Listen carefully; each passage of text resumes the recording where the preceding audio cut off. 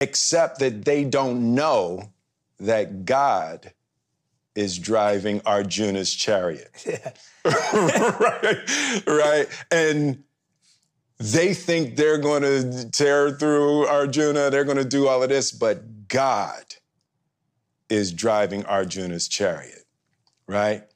And even in that, you know, Arjuna, he's, he's